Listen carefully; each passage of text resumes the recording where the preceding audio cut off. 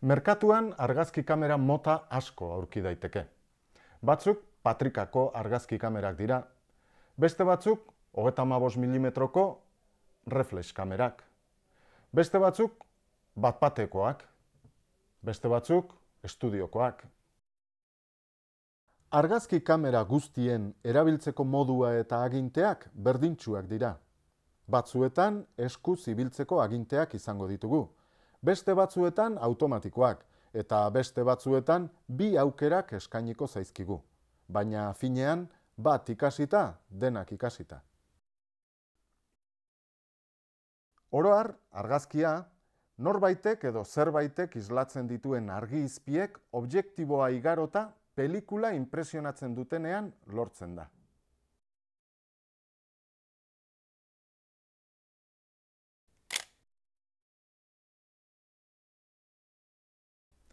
Orain, argazki kamerek dauzkaten aginteak eta euren betekizunak aztertuko ditugu. Lehenengo, fokatzeko ustaia ezagutuko dugu.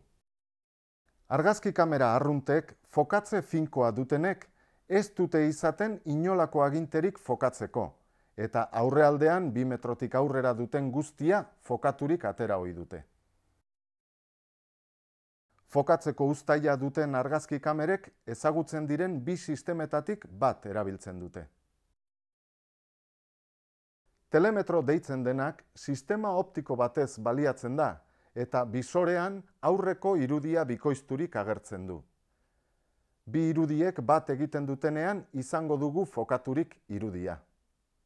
Horretarako, irudi biak bat bihurtzeko Fokatzeko ustaia igitu beharko dugu alde batera edo bestera fokatzea lortu arte. Sistema hau erabiltzen duten argazki kamerek bisorea objektiboaren gainean albo batean izaten dute. Bere kokapenagatik guk ikusten duguna eta argazki kamerak ikusten duena ez da izaten kuadro bera. Akatsoni paralasia deritzo eta argazkiaren subjektua argazki kameratik zenbat eta gertuago dagoen orduan eta nabarmenago izaten da.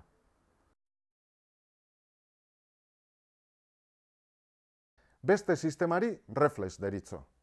Kasu honetan, guk ikusten duguna objektibora datorren irudi bera da. Beraz, guk eta kamerak gauza bera ikusten dugu. Eta ikusten ari garen irudia da, pelikulan impresionatuko dena.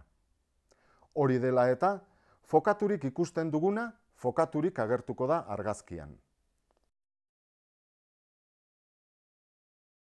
Reflexaren mekanika bi prismaz osatua dago.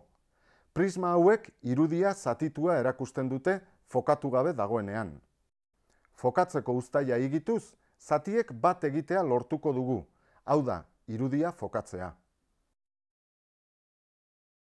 Reflex bisorea duten argazki kameretan, objektiboaren eta fokatzeko pantailaren arteko tartea eta objektiboaren eta pelikularen artekoa bat bera dira.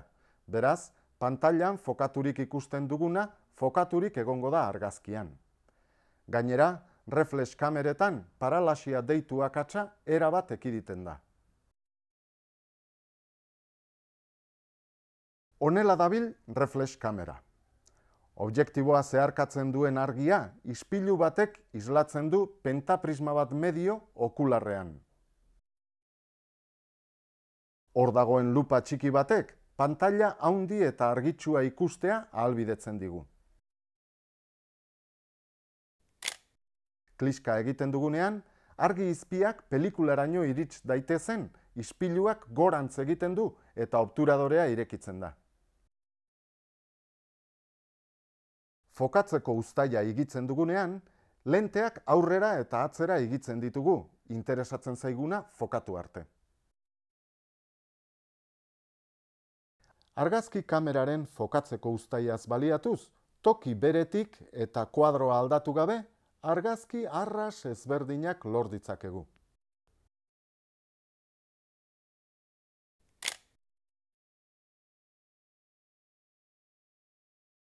Kliska egitean, argi kantitate bat iristen da pelikularaino. Argi kantitate hau bi eratara kontrola daiteke. Diafragma gehiago edo gutxiago irekiz eta denbora gehiago edo gutxiago edukiz irekita. Diafragma laminatxoez osatua dago. Laminatxo hauek bata bestearen gainean daude eta erdian irekiduratxoa uzten dute argiarentzat. Irekiduratxoa ireki ala itxi egin dezakegu beharraren arabera. Hala, objektu ilun baten argazkia hartu nahi badugu, ireki egingo dugu, ahalik eta argi gehien sardadin. Objektua aldiz argitsua bada itxi egingo dugu. Horrela, gure pelikulak bi kasuetan argi kantitate berbera jasoko du. Pelikula impresionatzeko behar den argi kantitatea, alegia.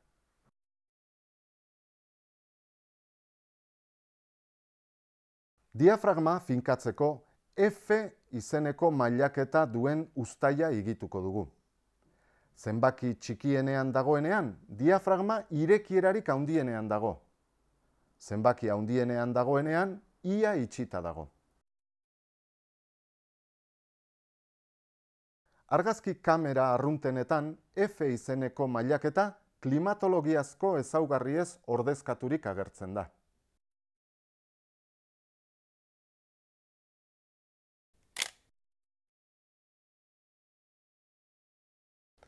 Obturadoreak argia noiz sartuko den eta zenbat denbora egongo den pelikula impresionatzen zehazten du. Beraz, diafragmarekin batera, pelikulari iristen zaion argi kantitatea kontrolatzen du. Obturadorea lastertasun handian ireki eta isten den gortinatxo bat baino ez da.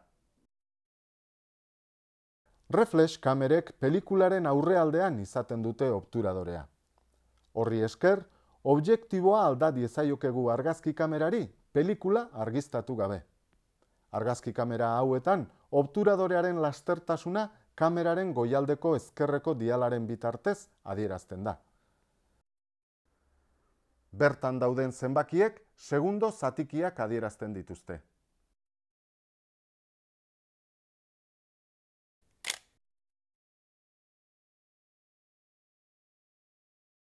Ikus eremuaren sakontasuna argazkian fokaturik agertzen den eszenaren zatiari esaten zaio. Argazkia egin nahi diogun eszenan elementu batzuk aurrealdean badaude eta beste batzuk atzealdean, argazkia ezberdina izan daiteke oso ikus eremuaren sakontasunaren arabera. Ikus eremuaren sakontasuna diafragmaren irekieraren eta subjektuarekiko hartzen dugun distantziaren mende dago. Beraz, diafragmaren irekiera txikienari ikus eremuaren sakontasuna handiena dagokio. Eta subjektuaren gandik zenbat eta urrunago jartzen garen, sakontasuna areagotu egingo dugu. Objektibo gehienek ikus eremuaren sakontasunaren neurria adierazteko mailaketa bat izaten dute. Mailaketak F zenbakiak medio fokatu dugun guneari dagokion ikus eremuaren sakontasunaren aurrealdeko eta atzealdeko neurriak adierazten ditu.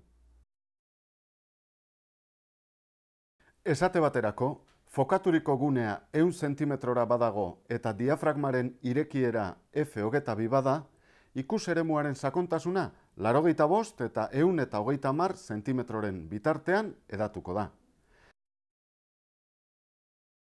Aldiz, diafragmaren irekiera F bat komazazpi bada, ikus eremuaren sakontasuna fokaturiko gunetik aurrera eta atzera zentimetro gutxi batzuren tartean edatuko da.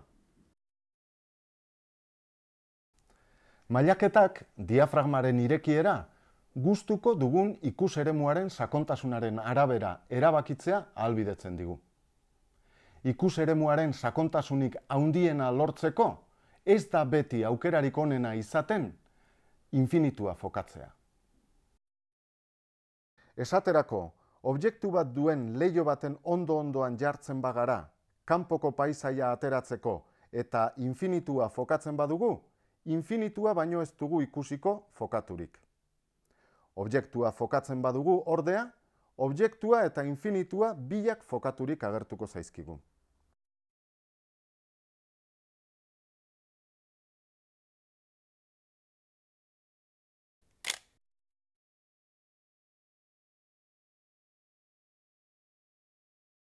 Obturadorearen lastertasunak esango digu zenbat denbora egongo den pelikula argitan. Lastertasuna handia bada, mugimendua gelditu egiten dugu argazkian. Lastertasuna txikia bada berriz, irudi lausoa aterako da.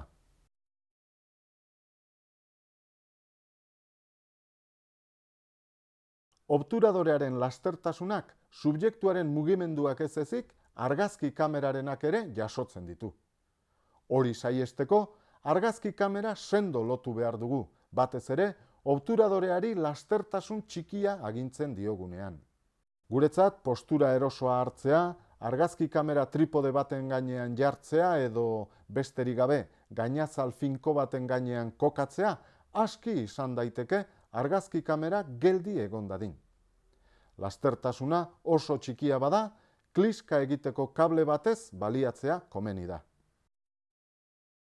Argazkian atera nahi dugun objektua edo pertsonaia mugitzen denean, haren norabidea hartu behar dugu kontuan. Hobeto fokatzeko, haren aurrez aurre kokatzea komeni da.